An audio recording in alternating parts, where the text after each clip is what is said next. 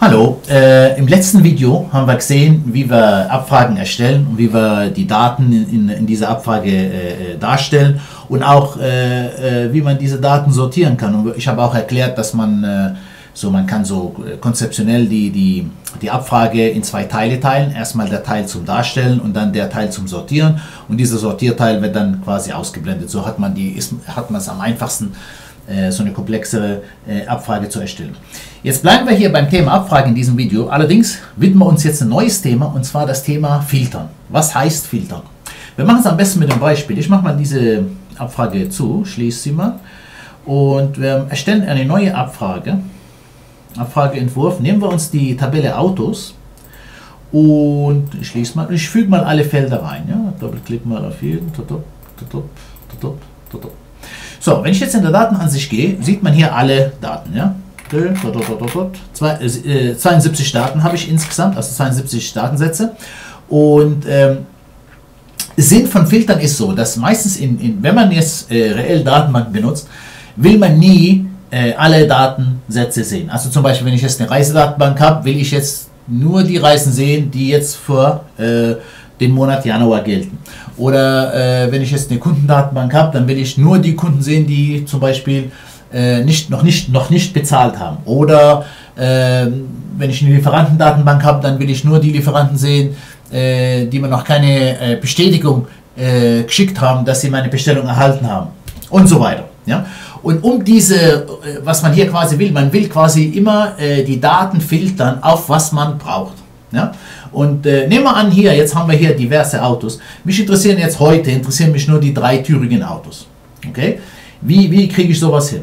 Dann geht man im Entwurf und wir haben ja letztes Mal, habe ich ja erklärt, also die erste Zeile hier, das sind die Feldnamen, da stehen alle Feldnamen drin. In der zweiten Zeile stehen dann die, äh, der Tabellenname, wo, wo dieses Feld herkommt. In der dritten Zeile legt man die Sortierung fest, entweder aufsteigend oder absteigend. Und in, dem, in der vierten Zeile legt man, legt man fest, ob, man die, ob, das, ob das Feld dargestellt wird in der Datenansicht oder nicht.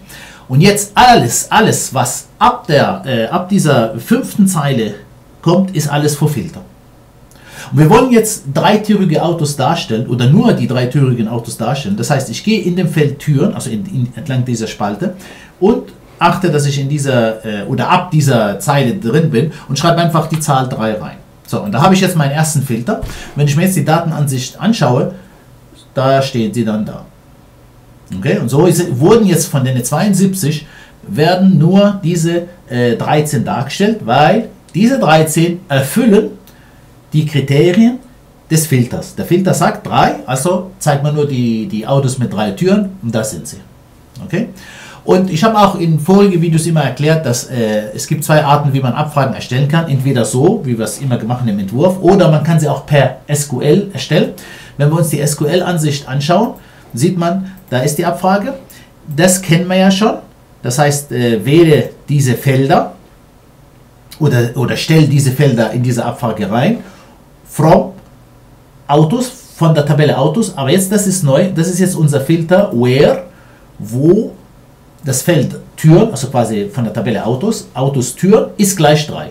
Ja, wir können hier die, die, die, die Sache auch ändern. Nehmen wir an, ich will jetzt die fünftürigen äh, darstellen. Und dann gebe ich hier 5 ein gucken wir uns die Datenansicht und schon haben sich unsere Daten geändert. Jetzt werden nur die fünftürigen Autos dargestellt.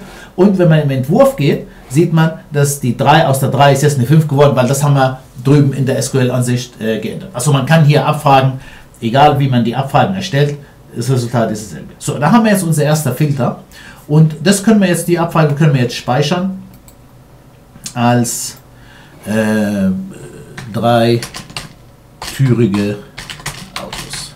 Okay? Und auf OK. So, und dann ist das, das ist unsere erste Abfrage. Und das heißt, wenn ich die jetzt schließe, das heißt, äh, ich gucke gerade, da ist sie. Jedes Mal, wenn ich diese Abfrage öffne, äh, sorry, das sind die fünftürigen. Naja, gut, ich werde dann so machen. Ich habe jetzt mich, ich gehe so, ich gehe im Entwurf und ändere das auf 3. So, und dann tue ich, genau, und dann tue ich die erneut, äh, erneut äh, speichern. So, jetzt, jetzt haben wir die drei Türen. Okay, jetzt und ich schließe. Jedes Mal, wenn ich jetzt diese Abfrage öffne, erscheinen die dreitürigen Autos. Und, der, und das Schöne daran ist, auch wenn ich jetzt in der Tabelle, in der Tabelle Autos, neue Autos erfasse, neue Autos erfasse und sagen wir mal ein paar von den Autos, die von, von den neu erfassten Autos drei Türen haben, erscheinen die automatisch in dieser Abfrage. Ja, das ist wichtig. Also das heißt, ich muss nicht jedes Mal, wenn neue Daten hinzukommen, muss ich dann eine neue Abfrage machen. Nein, diese Abfrage aktualisiert sich automatisch. Wenn da neue Autos drin sind und die sind dreitürig, würden die hier dann äh, erscheinen. Automatisch. Okay? Gut, das ist unsere erste Abfrage. Und jetzt erstellen wir eine neue Abfrage. Machen wir wieder Abfrageentwurf, nehmen wir wieder die Tabelle Autos und ich nehme wieder alle Felder. Jetzt hier in dem Fall will ich die Autos darstellen, die mehr als 30.000 Euro kosten. Okay, 30.000, das ist ja dann der Stadtpreis. Wieder entlang dieser Spalte bei Kriterien. Jetzt mehr als 30.000, da muss ich dann diese, dieses Zeichen eingeben, größer als und dann die Zahl 30.000. Ja? Und dann, wenn ich dann da klicke, dann sehe ich dann diese Autos. Okay? Ich kann auch noch, da wir jetzt wissen, wie man sortiert, ich kann auch diese Autos dann nach dem Stadtpreis sortieren und zwar absteigen. Das heißt, das teuerste Auto steht oben und das billigste unten. Und wenn man das jetzt anschaut, dann sieht man hier, sind die jetzt sortiert. Allerdings werden nur die Autos, die mehr als äh, 30.000 kosten. Und von denen Zeichen, das größer als heißt, werden die Autos dargestellt, die mehr als 30.000 kosten. Also wenn ein Auto 30.000 kostet, wird das nicht dargestellt. Dann gibt es das andere Zeichen, das zweite Zeichen, größer gleich. Und man schreibt das so, größer und dann das gleich. Und größer gleich heißt, es werden alle Autos dargestellt, die mehr als 30.000 kosten und die auch 30.000 kosten. Ja? Also das heißt, das Auto, das 30.000 kostet, wird in dem Fall hier dargestellt. Okay? Und dann hat man äh, kleiner als 30.000, also alle Autos unter 30.000. Ein Auto, das 30.000 kostet, wird in dem Fall nicht dargestellt. Und kleiner als, äh, kleiner, sorry, kleiner gleich äh, 30.000. Das heißt, alle Autos werden dargestellt, die von 30.000 ohne kosten. Also das heißt, die, das Auto, das 30.000 kostet, wird hier in dem Fall auch dargestellt. Man kann auch, das haben wir vorhin bei den Türen nicht gemacht, man kann auch sowas schreiben, ist gleich 30.000 aber muss man nicht in Excel, äh, äh, sorry, in Access. Das haben wir vorhin hier bei Türen haben wir gesehen, wir haben die Türen 3 oder 5 reingeschrieben ohne ein ist gleich äh, Symbol. Und dann hat man noch äh, ein Symbol und das ist äh, das hier, äh, das Ungleich. Das heißt, hier werden alle Autos dargestellt, außer die 30.000 kosten. Okay? So, dann lassen wir es wieder, wie es war, größer 30.000 und dann können wir es dann auch wieder erneut speichern. Und dann schreiben wir hier äh, größer äh, 30.000. Okay? Und wenn wir uns nochmal Interesse halber die, die SQL-Ansicht anschauen, dann sieht man hier, hier das, das ist, da haben wir jetzt den Filter, where, Stadtpreis, größer 30.000. Und dann hat man hier die Sortierung Order by, also sortiere durch äh, Stadtpreis. DS, DESC heißt äh, Descending. Wenn man aufsteigend will, steht, würde, muss, man, muss man da gar nichts reinstehen, also kann man das löschen. Lass mal probieren. Tun wir es mal löschen. Und dann, wenn ich jetzt gehe in der, in der Abfrage, sind die jetzt aufsteigend sortiert. Okay, vorhin waren sie absteigend, jetzt sind sie aufsteigend sortiert. Gucken wir uns den Entwurf, dann ist hier aufsteigend. Okay? Und wenn man, gehen wir wieder im SQL, wenn man hier das komplett löscht, das Order, die Zeile komplett löscht, dann ist, diese, dann ist auch keine Sortierung drin. Okay, gucken wir uns die Ansicht. Okay, da ist keine Sortierung drin, es ist alles äh, querbeet. Und wenn man die Entwurfansicht sieht, sieht man auch, dass hier äh, die Sortierung ist auch gelöscht. Okay, lassen wir es wieder, wie es war, absteigend. Es mal schön speichern. Okay, und da haben wir jetzt unsere zweite Abfrage mit Filter erstellt.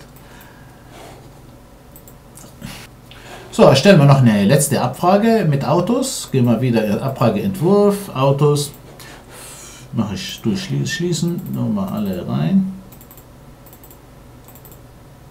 In dem Fall will ich jetzt alle Autos darstellen, außer die fünftürige. Okay, das heißt, jetzt wissen wir, wie man außer schreibt. Das heißt, bei Türen, außer ist mit das und 5. Das heißt, alle Autos werden dargestellt, außer die fünftürige. Und wenn wir das anschauen, sind das doch. Also die dreitürigen werden gestaltet, die viertürigen, aber keine fünftürigen Autos. Okay? Und die SQL-Ansicht ist dann so und dann sieht man hier where Autos Türen ungleich äh, 5. Okay? Und dann kann man das dann auch speichern und kann man hier schreiben äh, ungleich oder außer äh, 5 Türen. Und wie, wie ich schon erwähnt habe, diese Abfragen, die wir jetzt gespeichert haben, die aktualisieren sich automatisch bei neuen Daten. Also wenn jetzt neue Daten kommen und äh, die, die, diese neuen Autos haben dann, was weiß ich, äh, fünf Türen, werden die immer noch ausgeschlossen von, bei dem Filter ungleich fünf Türen.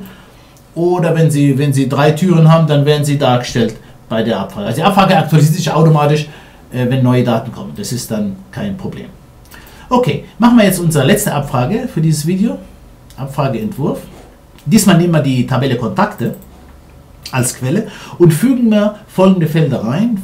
Vorname, Nachname, äh, Firma und Stelle. Okay. So, also gut. Jetzt wollen wir hier, wollen wir die, äh, die Leute, die mit dem Nachname Schmidt heißen, mit, mit Doppel-T hinten, also S-C-H-M-I-T-T, Schmidt. Jetzt achten wir, sobald ich da klicke, steht dann Schmidt in Gänsefüßle. Und das ist normal, Access macht das automatisch, wenn wir ein Text, ein Text haben, äh, sorry, wenn wir ein Feld haben vom Typ Text, dann kommen automatisch solche Gänsefüßle um die Filter, weil Nachname ist hier ein Textfeld.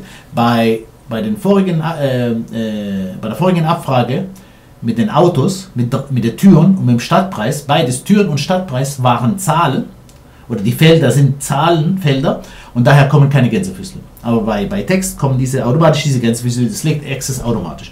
Und wenn wir jetzt die Daten anschauen, dann sieht man, kriegt man alle Schmitz hier. Jetzt hier, hier haben wir jetzt ein bisschen Glück.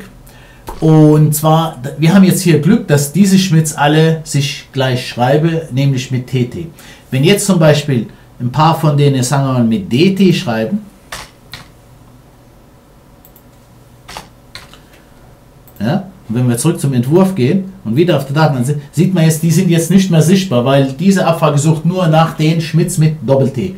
Jetzt die Frage ist, wie, wie kann ich beide darstellen? die mit TT und die mit DT. Dasselbe gilt für Namen. Auch zum Beispiel, äh, was weiß ich, zum Beispiel Annette schreibt man manchmal mit ein T, mit Doppel-T, mit ein N, mit Doppel-N. Wie, wie kann man solche Namen rausfiltern? Ja? Und das, dieses Thema machen wir dann im nächsten Video.